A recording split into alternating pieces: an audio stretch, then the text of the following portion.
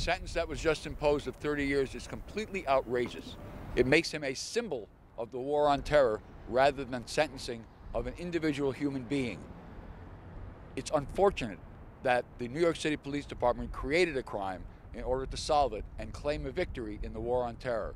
And the sentence of 30 years is draconian, totally draconian. He was talked into being a willing participant in some kind of violent plan. And then, having been committed to that, he came up with the idea of the 34th Street Station.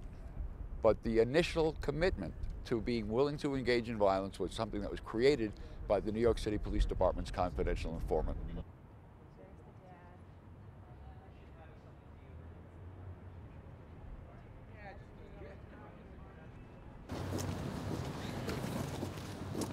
Di ano shot yan?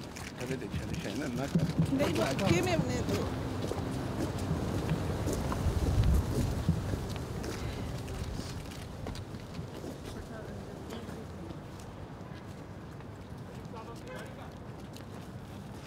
She said we did not get fair trial. My son has uh, nothing to do with that, and I am. Um, um, we didn't get proper sent. Uh, you know, he didn't get proper sentence.